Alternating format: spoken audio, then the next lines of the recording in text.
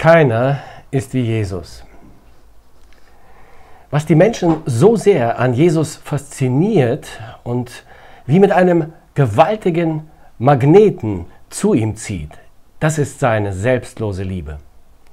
Jedem Menschen begegnete Jesus und begegnet ihm mit Respekt und Achtung. Selbst den von der Gesellschaft verachteten und verstoßenen Menschen. Er liebte diese Menschen aufrichtig. Seine Liebe äußerte sich in tiefem Mitgefühl und Barmherzigkeit. Er verurteilte und verachtete niemanden. Ob es eine samaritische Frau war, die mit fünf Männern zusammengelebt hatte und sich schämte, sich öffentlich am Brunnen zu zeigen, er nahm sich Zeit für sie. Ob es Maria von Magdala war, die von sieben Dämonen besessen war, er trieb die Geister aus. Er gab ihr ihr Leben zurück. Seine Achtung und Wertschätzung ihrer Person ging so weit, dass er ausgerechnet Maria von Magdala als erster erschien, nachdem er von den Toten auferstanden war.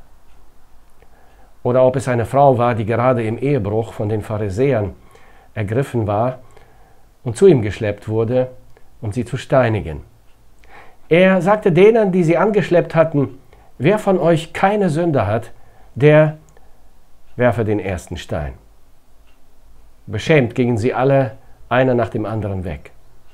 Und zu ihr, die zerknirscht, bloßgestellt und beschämt vor ihm stand, sagte er, hat dich niemand gesteinigt? Auch ich verurteile dich nicht. Geh hin und sündige nicht mehr. Er gab ihnen allen ihre Würde zurück. Seine Liebe richtete sie auf. Sie schöpften Hoffnung und blühten auf. Und das Faszinierende an seiner Liebe war, dass sie voller Barmherzigkeit und Mitgefühl war. Seine Liebe war unglaublich stark. So stark, dass sie die schlimmsten und schwersten Sünden vergeben konnte. Das war das Einmalige und das Unvergleichliche an seiner Liebe. Sie gewährte jedem schuldigen Menschen Vergebung. Mein Sohn, meine Tochter, sagte er den reumütigen Sündern immer wieder, deine Sünden sind dir vergeben. Gehe hin in Frieden. Und er machte ihnen keine langen Moralvorträge, keine Vorwürfe.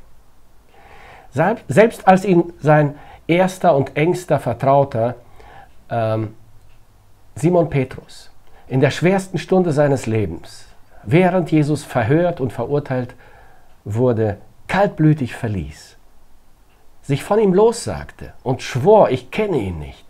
Und das dreimal.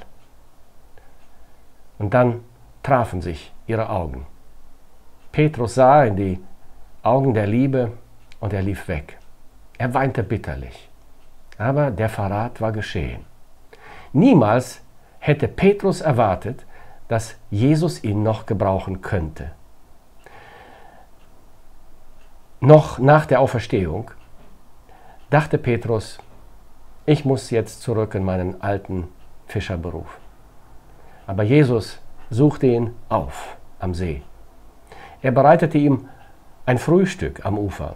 Er ging mit Petrus nach dem Frühstück spazieren und stellte ihm nur eine einzige Frage. Petrus, liebst du mich? Als Petrus die Frage zaghaft bejahte, sagte Jesus Petrus, weide meine Schafe. Mit anderen Worten, zwischen uns ist wieder alles so, wie es vor deiner Verleugnung war. Ich habe einen Auftrag für dich. Baue meine Gemeinde. Du hast hier, du hast mein uneingeschränktes Vertrauen wieder. Kein Vorwurf, keine Klärung der Einzelheiten, nur Liebe. Keiner liebt wie Jesus. Und seine Vergebung war kraftvoll. Sie trat immer in Kraft, sobald er sie jemandem zusprach. Denn keiner kann Sünden vergeben, nur er. Jesus ist der Einzige, der uns die Lösung für unser Schuldproblem anbietet. Sünde ist der Krebs, der die Seele des Menschen zerstört. Sünde zerstört Beziehungen, zerstört Ehen und Familien, zerstört die Gesellschaft. Sünde ist schrecklich. Sünde ist die Ursache für das Leid und Elend in dieser Welt und für den Tod. Wir sterben, weil wir Sünder sind. Man muss nur einmal die Zeitung lesen, die Nachrichten verfolgen, die Flüchtlinge anhören, den Friedhof besuchen und in der Stille das eigene Gewissen reden lassen. Dann gewinnt man einen Eindruck davon, wie schrecklich Sünde ist. Es kamen viele vor Jesus und nach Jesus. Sie boten uns Ideologien und Religionen an. Manche versprachen Wohlstand und das Paradies auf Erden, die eine das Rote, die anderen das Braune oder das Grüne. Doch keiner außer Jesus hatte eine Lösung für das Sündenproblem. Nur Jesus kann sagen, mein Sohn, meine Tochter, deine Sünden sind dir vergeben. Gehe hin in Frieden. Er hat diese Worte nicht nur gesprochen, er hat auf eine dramatische Weise bewiesen, dass er allein die Vollmacht hat, Sünden zu vergeben. Er hat dafür mit seinem Leben bezahlt.